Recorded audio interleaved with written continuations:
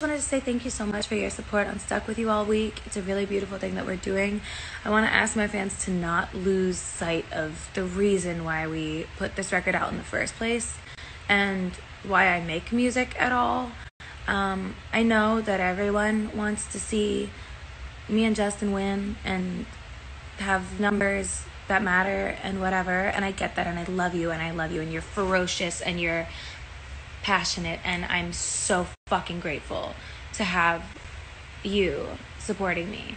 But I just don't want you to lose sight of the reason again why we make music and why we put this song out in the first place. That's the only thing I'm asking. That's the only thing I'm asking, and um, I love you guys. I appreciate it, and I get it, and I love you, and it's exciting.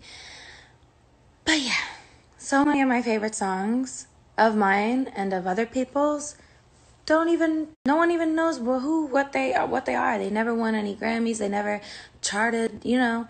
It's all exciting and it is very exciting when it does happen. We can celebrate if and when it does happen. But i just again i have to bring this up because it happens every time and i don't and it does take a little bit of the joy out of it for me.